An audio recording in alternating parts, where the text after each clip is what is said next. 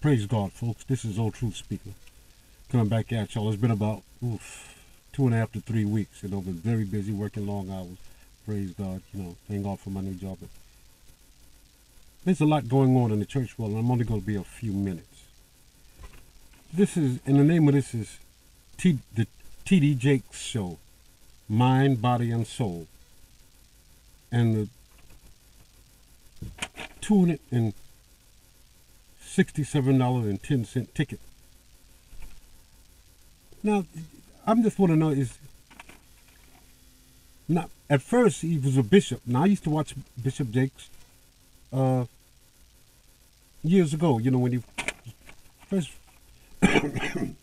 coming on TV, where he taught the gospel. But you know I'm not slamming the man or banging him. So no, you know nobody sent me email it uh, texting me or whatever, uh, emailing, oh, oh, he's wrong, he, you are wrong, he's preaching the gospel. No. This is about what would Jesus do. Now he's a motiva- he's a, he's not only a preacher, he's a motivational speaker, best-selling author, counselor, philanthropist, movie director, and now he's got his own TV show. And I, I, I don't understand what is he? What, what what is he? You know, I'm just I'm just asking a, a question. Would Jesus do this? And it cost, I've got it to where it cost almost over $260 to get a good seat at the Megafest with, with him and Oprah. And, and uh, he had a lot of other celebrities there. Yeah, and but Oprah doesn't believe in Jesus. I, I, I mean, she believes in a God, and she has her own religion. So what, what com, you know, companion has darkness with light? What companion has the, the, the, the temple of God with that of demons and death? What I'm what I'm saying is I'm I'm just confused, and I'd like your opinion. What would Jesus do? Would Jesus charge all this money to go? Now I'm not just talking labeling him a, a, prosperity preacher, which we all know that you know. Uh, let me let me give you an example of a scripture. Acts chapter eight verse twenty. Now, Acts chapter 8, verse 20 says, mm, This is Peter. But Peter said unto him, Thy money perish with thee, because thou hast thought that the gift of God may be purchased with money. Now, you have people there who, who preach this, unless you tithe or do this or pay this, or, or, or with certain prosperity pimps,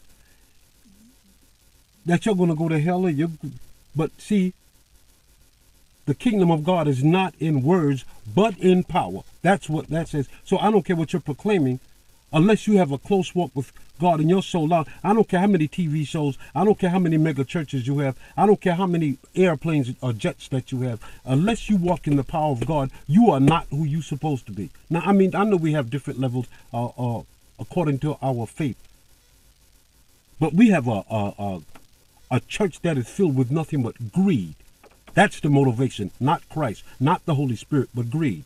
But again, I'm, I'm just getting back to this. what is T.D. Jakes do? What, what, what is he? Is he a pastor, a motivational speaker? Are he, is he all these rolled into one? Would Jesus approve of this? Eh, you know, that's would Jesus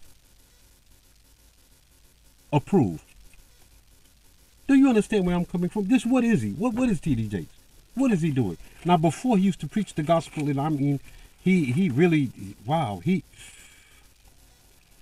he was on fire for God, and you know. But now I'm not. I'm like I said. I'm not. I'm not slamming the man, and I'm just curious as to just what is what is TD Jakes. Is he a uh, psychiatrist? Uh, uh, well, I know that he's, he's got a man of many different hats, motivational speaker, and all this kind of. Wow, you know. But does God dwell in all this? What's your opinion? I'm just asking you. What does God dwell in all this? Let me read you this. 1 Corinthians chapter 2, verse 4.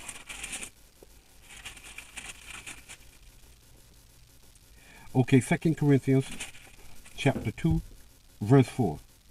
And my speech and my preaching was not with enticing words of man's wisdom, but in demonstration of the Spirit and of power.